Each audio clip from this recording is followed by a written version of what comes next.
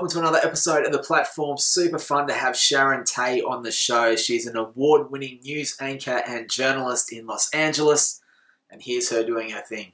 Hello, I'm Sharon Tay. We want to update you on the stories we're working on tonight. This is CBSLA.com's The Rundown. A hiker is in critical condition after being hit by a massive boulder in Malibu. The LAPD says a man is dead after officers opened fire in the locker room of a Hollywood gym. Shots rang out around 9 o'clock this morning at the 24 Hour Fitness near Sunset and Vine.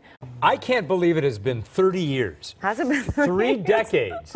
After hitting the danger zone, Tom Cruise is uh-huh. back in San Diego on the flight line, filming a sequel to the 1986 movie Top 30 Gun. years. Fans got a gl- brief glimpse of Tom Cruise on a motorcycle at Naval Base Coronado yesterday. Production crews quickly put up a privacy shade to block the view. Oh. Why? What's the point of that? The actor revealed a first look at the sequel on Twitter back in May. People who live on base are excited Coronado is part of the action. Yeah, so there you go. Uh, it was great to catch up with her, of course, in LA. Uh, she grabbed her iPhone, jumped on Skype, and we filmed this for the platform. It's great to have you on the show. Thank you so much.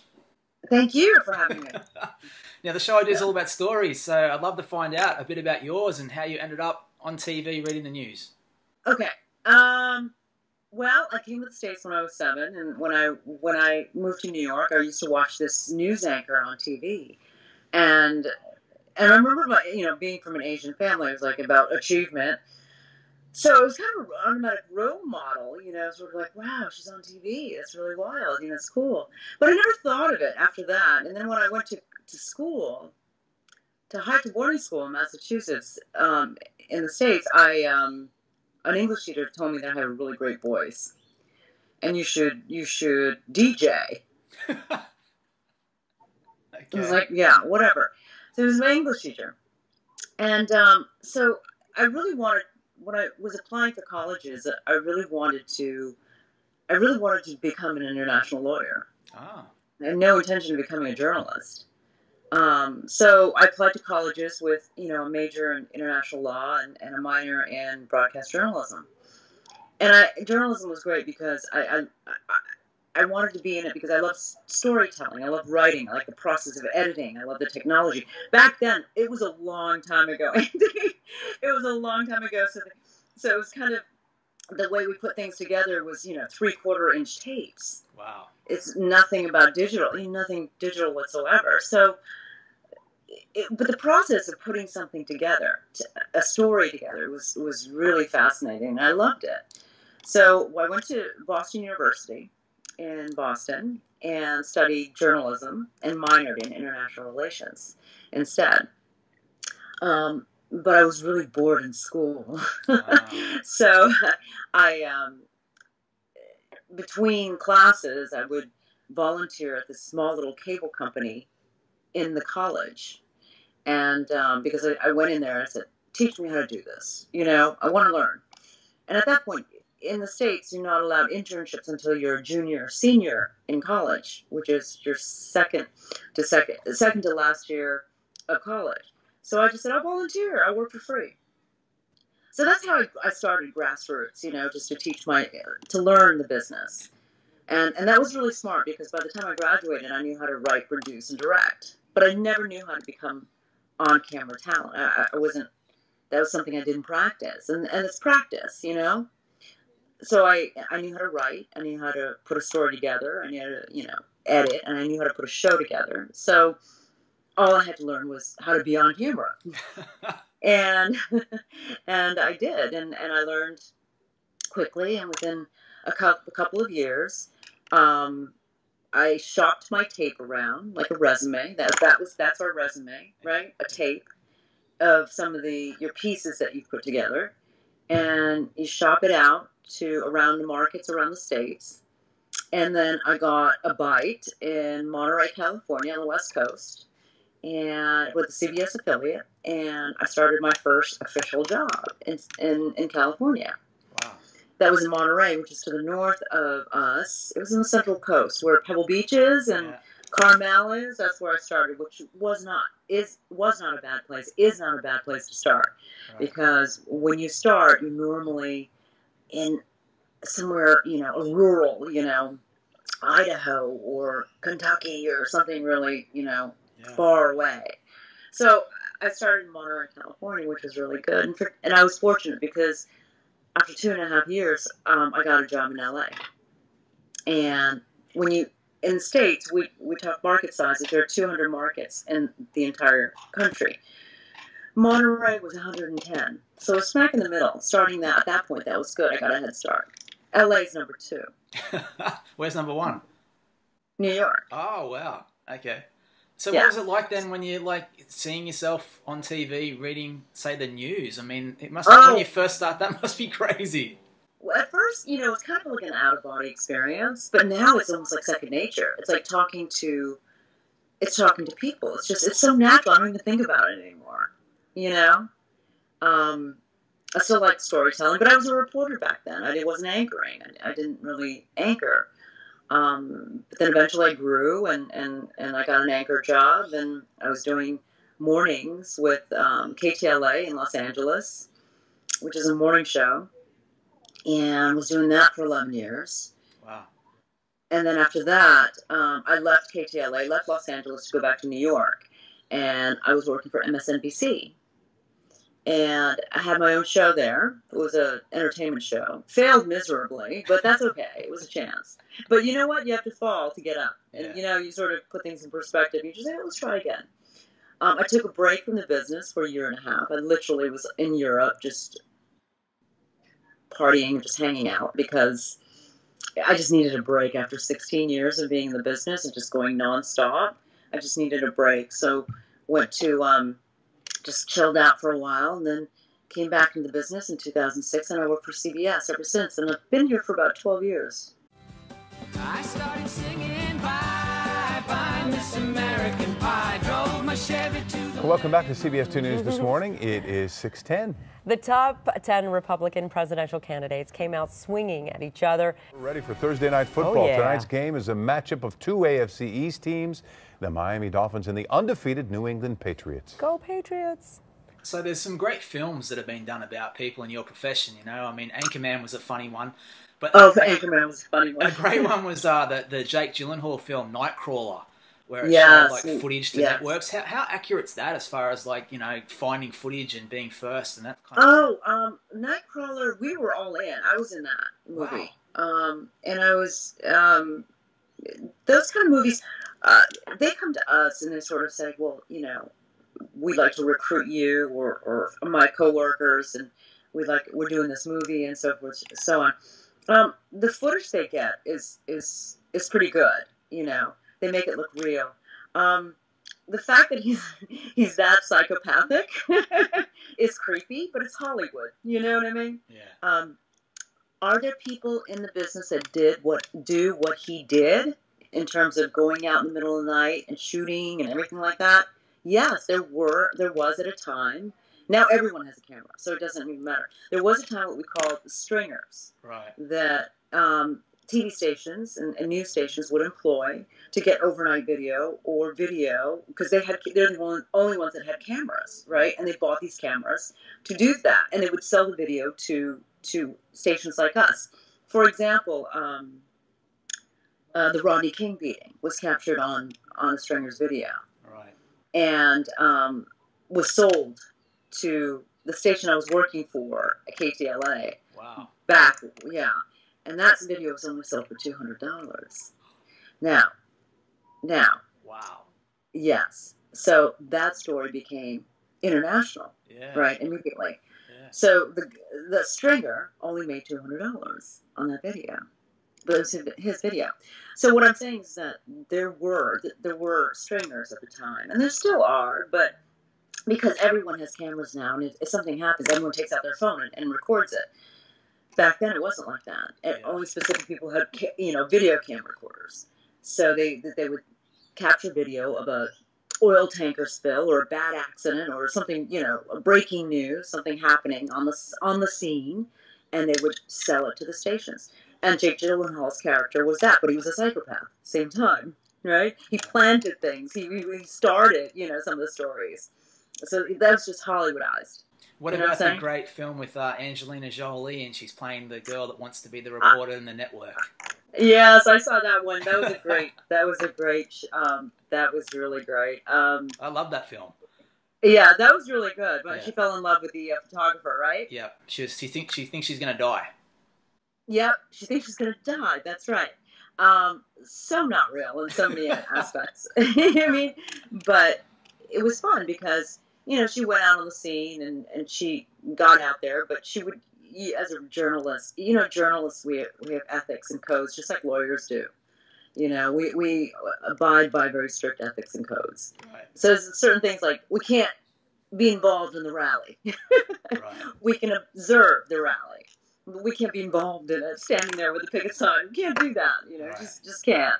So that's just it's just having fun. So what's like know, a what's a daily like what do you do in a day? What's it, it must be pretty busy because right now you're in your work cubicle and you, I think you've already done a show. You've got another one to do. It must be pretty crazy. Yeah, two is nothing. Here, the station I work for is for CBS, and CBS owns here in Los Angeles owns two stations. One is Channel Nine, and one is Channel Two. So I do. Um, I was. We toggle between Channel Nine and Channel Two. We do so much program here, pro- programming here in town. We do about um, at night. We do six shows. Wow. You know, back to back to back to back. For me as an anchor, I only do two. Most of the anchors only do two sometimes, but if, if an anchor is off on another show, I'll have to fill in, or somebody has to fill in my shoes if I if I'm on vacation. So we we, we stagger, we, we cover each other's shifts, you know, and um, it gets pretty busy. Right now, it's really I, have you know I do a four o'clock show and then I do a nine o'clock show, so I have a nice long dinner break. Right. Okay. Right. Yeah. yeah. And how often? So like when you're when you're in front of the camera and you're reading, I guess, a teleprompter with the stories. Is that the first time you're seeing a so, story? Oh, you re- reading it cold? Yeah. We call it in business reading it cold. Um, reading copy cold. Um, not necessarily. Um, we are equipped with computers, our, our, our anchor desks, so we can go through what's called a rundown, a format, and we see each story coming up. Um, it depends on if it's breaking news. Sometimes we don't get a chance to, and we have to read it cold. Um, but generally, we try to pre-read everything when if the copy is in, if the writers have submitted them and, and it's filed, then we can we have a chance to read it. We also have the power to change things. Again, we have to be very careful of that because it has to be accurate. You know, we have to be mindful of accuracy and um, and how we say things too. You know, so we have some certain we have restrictions and we have codes to abide by there must be some pretty. I mean, I guess in your profession there'd be some pretty classic blooper tapes. And and uh, yes, what's your what's what's the greatest blooper you've had? Oh my god, it was just recent. That was probably one of the funniest moments in my career. Um, it was maybe like a month ago, and there was a typo in the script, Uh-oh. and they're recalling raw chicken. Why? Because they had found pieces of rubber in the chicken. Ew. Well, you can interpret it was written as found a rubber in the chicken. so I immediately read it, and as soon as I read it, I knew. And I started laughing, and all my coworkers, like literally, there was a pause of silence, and then everyone started laughing. Oh, no. and I just I couldn't get through it. I had to have my co-anchor finish the story for me because I couldn't get through it. And it literally went blew up social media. Social media was just like, oh my god, that was the funniest thing we'd ever seen because there was a typo and I, you know, didn't think it was just one word. Yeah. It could have been uh. The, the word uh was was missing or pieces of was missing. It just said, you know, it was, it was terrible. It was humiliating, but it was so funny. Hey, it must be. And you really... can't take yourself too seriously. You just have to laugh at those things. Well, I was going to ask that because there's a great footage. There's great footage of you online with your co-worker. I guess I'm not sure how long ago it was, but you're turning around on like a screen and you're driving a car oh, on the freeway. we're driving. Yes, that was we were working in the mornings. Um, uh, this was several years ago. We were working in the mornings and to keep, to stay awake because it was so early, and to have fun. We would um, the guy, the directors in the booth would put the freeway the freeway video up. So we had the big monitor behind us. So we just said, ah, let's play around. So we yeah. just turn around, we'll, we'll, play. I'll be texting, he'll be driving. You know, it's just like that kind of thing. And we we put it on on YouTube.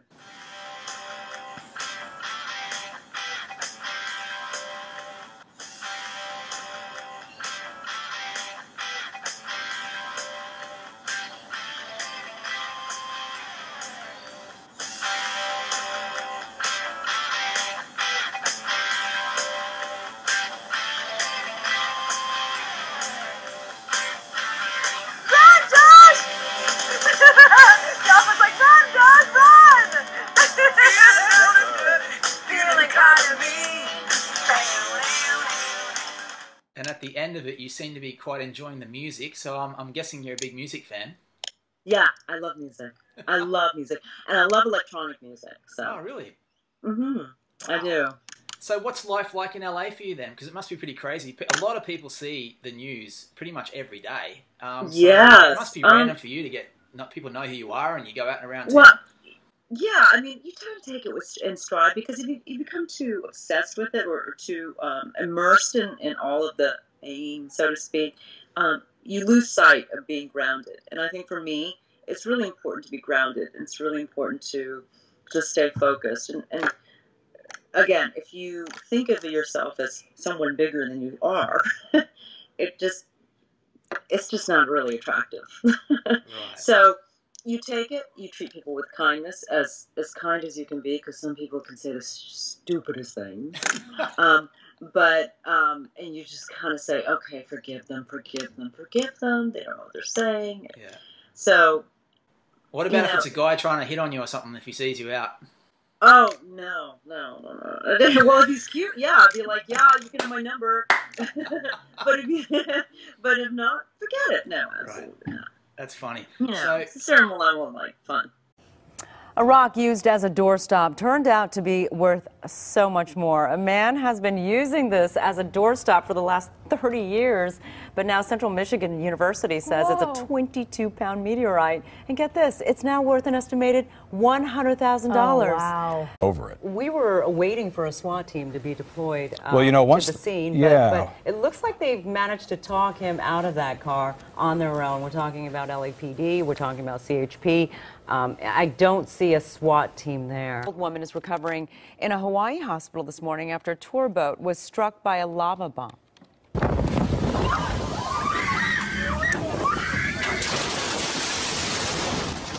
In all, 23 people were injured. Experts are saying when lava meets the ocean, burning rocks are formed. Those rocks often shoot into the air. One giant rock broke a woman's leg and shattered her pelvis. A confrontation at a Century City apartment complex could be heading to court. Attorneys for a contractor Miguel Sanchez say they will ask police to file charges against this woman who threw a cup of coffee at him. In the video, the woman tells the man they can't come into the garage without permission from the owner. You know the news before everybody else, so it must be like a weird situation because you guys cover like every story that you can think of is going to eventually be a news story. So that must be weird yeah. for you to know all that stuff. Well, it used to be weirder back in the day before digital media, before social media. Now, when something happens, boom, it just it's they get it before we do sometimes. You all get it before we do right. because of of the how you know digital technology has has you know, just literally taken news by the you know what and helped to spread it faster than faster than we can. We just get the complete. We have time to research it to see what's going on, what's really going on, and investigate to make sure it's credible. Again, that that's like a blessing and a curse. Social media could turn create fake news, yeah. you know, generate fake news. So what you hear is not necessarily for real unless you you go to a, a, a credible news organization like CNN or us or you know CBS or network or you know we we work with we work with a number of you know we work with a ton of ethics and issues and and and legal legalities that right. social media does not. Yeah. Okay. So um, another mm. bit of footage I found of you was online. You're riding a horse and you're talking to some like pretty handsome Spanish dude. Um, oh, it was not. It was Nacho. You know Nacho, the uh, polo player. No. Nacho Figueras from uh, I think he's from Argentina. He plays he's plays polo and he also models for Ralph Lauren polo. He did for a while. Since you're here, can I ask for a private lesson? Yep. Just can, a few tips. We can do that. Here we go. I'm going to toss this over here. If you get good enough, maybe you can play on Saturday. Oh yeah, right. I've only I've actually played once, tried to, yeah. and it wasn't. Um, it was really tough. I got it. Okay. Yeah. I got it. Ugh. Well done. Thank you. You know, the stirrups are a little long for yeah. me, but um, okay, so what do, what's the first thing I need to know? Well, the first thing you need to know is in polo you have to play polo with your right hand. My right, oh, yes. Yeah. So you Why is that? So you can only hold the Okay. reins with your Macarena, left hand. easy. The, the reason for that is wow, look at those nails. Those, My nails. those nails are Not not, ex- pol- are not polo appropriate. No, Look they're not appropriate. bro. Don't play polo. But I love them. You're up there on the horse, and, and it Yes. seems like you're having a bit of fun. What's like the craziest thing you've done, as far as like either outside the studio or? Oh my god, outside the studio, I've done so much. Um, well, the fun things. Oh yeah, I skydived. Wow. Um, that was really fun. Um, for fun stories, I skydived. Literally caught me in the air, screaming my off. wow. Um, it was just like no, but it was it was a lot of fun. And then, I mean, I've done some hard news stuff too. You get into pretty gnarly situations, some pretty hairy situations, you know, dangerous situations. But it's all part of what we do. yeah. You know. Yeah, and then life in LA. Have you had any like what's what's your favorite Hollywood moment? If you were catching up with friends, either from originally from Singapore or friends you grew up with, and you're telling them about great experiences in LA, what would be like one that you think's pretty? Have you met like your hero or anything like? Yeah, no, no. I've met um, what I do for a living. We become, you know, um, acquaintances of celebrities. A lot of the celebrities, you know, I've met George Clooney. I had a chance to sit down with him and have drinks, and then I've had I met um, Colin Farrell in yoga class, um, and um, you, you just kind of everyone becomes part, a part of the community, you know. So you're you're living in this community instead of being. It's just so. It's not even shocking anymore, you know. Just kind of like, oh, so, so there's so and so, there's so and so. But it must be pretty cool for you because when people Google either you or you know hot news readers or anything, you're on those lists. So, So funny. That was when I was so much younger. oh, I don't know about that. I think it's still on there now. That must be pretty crazy for you. I don't even look at that. Doesn't even, don't even look at that. right. It's so funny. I just, you know, as long as the paychecks are coming in and, you know, and, and I'm still doing what I'm doing and happy doing what I'm doing, I'm, I'm happy. That's cool. What do you know about Australia? not- Have you been out here? Pardon me? Uh, you know what's funny? My father went. Are you in Sydney right I'm now? on the Gold Coast. Oh, you are. Um, my father, because when I was a child in Singapore, we used to go to uh, Australia a lot. Oh, okay. hmm Because my my father went to University of um, New South Wales, Ah, and uh, my mother and him honeymooned in, in Australia a lot. So they spent a lot of time, even before having us kids. They used to spend a lot of time in Australia. So I grew up with Australia in my background. However, as a, an adult, I haven't gone, and I've, I had so- many friends go, and they're like, "Oh, it's fantastic! You need to go back, you need to go visit, and so forth." very cool. Well, I love asking people about Yeah. living the ultimate dream and stuff. So, what would what what's the ultimate dream for you, if you could live it? Uh, the ultimate dream would, uh, let's see, um, live in my beach shack along the Spanish coast and have dinner parties and just enjoy life that way. Very cool. Well, it's And write, and write. You Oh, know, really? it's not. What do you love to write about? Um, I think I would love to write um, stories and just, uh, you know, screenplays and, and so forth. Eventually, screenplays and all of that. Be a producer. I'd love to produce a movie. I say that I'd love to, but I mean, it's just a matter of taking that direction. Why don't Having you why don't you do a movie about a newsreader in LA? That's Because no one's interested in that. oh my god, you're kidding me. no. So I mean, that's that's essentially um, my dream is to eventually retire and go live the life I I, I want to live. You know, and that's just to be not have to work all the time and just be you know enjoying life, traveling, you know, living on the coast of Spain or wherever I am, and just retiring. Very cool. Well, you know what? Thank you so much for the quick chat on Yeah, Skype. you're welcome. I appreciate it, and uh, all the best with Andy. everything. Thank you. Thanks for having me. So there you go. Super fun to have her on the show. Thank you for watching, and we'll see you next time on the platform.